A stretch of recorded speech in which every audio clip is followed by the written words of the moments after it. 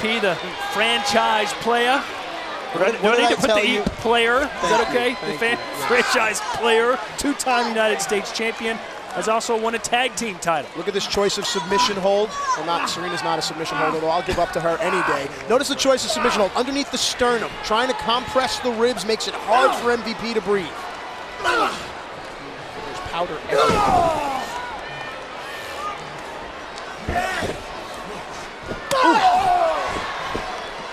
Just moments away from the return of the dead man.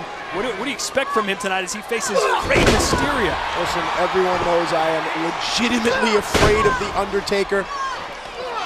There is such an eerie way when this man enters the arena, and you'll feel it here in just a few moments. Why'd you steal my eerie line? No, mine made sense. Yours was silly. Oh, MVP thinking perhaps about a three-pointer. Right on target. The Miami Heat may be out of the playoffs, but MVP certainly representing the 305. Oh, oh coming off the apron. Notice there that Gallows tried to roll out of the ring to break the momentum, but MVP wise enough to keep his own momentum going. And we saw this earlier tonight. Serena trying to provide a distraction. Oh, look out! The, the masked hooded oh! stranger who tormented Rey Mysterio so many times has done the same now to MVP. The Straight Edge Society is in mass wherever you go, hooking up the Gallows pole, the 12th step.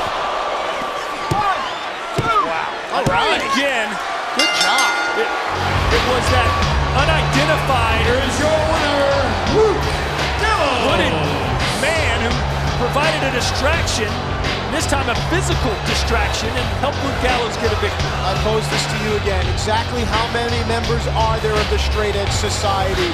Where are they and when will they strike? No one knows. Congratulations, Luke Gallows.